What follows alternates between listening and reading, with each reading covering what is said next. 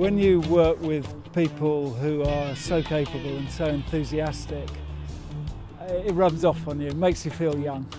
It's just the absolute dedication making this happen, which is it's breathtaking.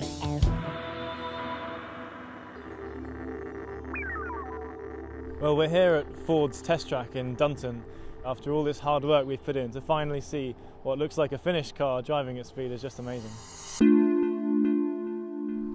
Solar energy is probably the most important uh, new energy source that, that, that, we have. And to have a solar car showing that you can actually run a car on solar energy was just fascinating. We had 12 Masters research projects working this year on um, development of technologies like battery management systems, motor control, all the kind of things that you're going to see appearing on electric cars. The fresh ideas that students can give to their organisations are quite, quite exciting.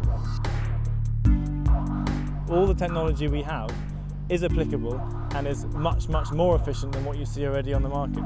The way I like to look at it is that if you take the solar cells off this car, what you have underneath is an ultra efficient electric vehicle. And that you are already seeing uh, in, in the marketplace today and is just going to grow and grow.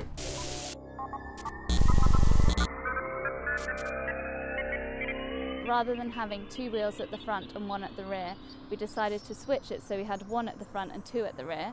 So that meant we could sit the driver down inside the front fairing behind that front wheel. So we really had to model the vehicle dynamics of the car carefully um, before we started the design work.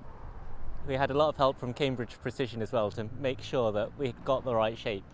Once you've got that, you crack it out of the mould, uh, glue all the bits together, and you've got a car. As students, um, we're very willing to admit that we do not have what it takes on our own to do this project. The sponsors play a huge role both in the financial side, the parts, and also the experience and the management and the business sense to actually allow a project of this scale to, to come off in the first place. The Australian Solar Race is the high profile uh, race, solar race in the world. So any sponsor will have terrific exposure. There's a halo effect if you're supporting efforts for sustainability and the environment. People see that in your brand and as each year goes by it's going to become more and more important. The project doesn't just capture the imagination of students, it's capture the imagination of the whole public. We've shown that this is possible for students to do here at the university. We can pull this off and people rally around a positive result like that. We can build on that and, and hopefully uh, build the best car in the world for 2011.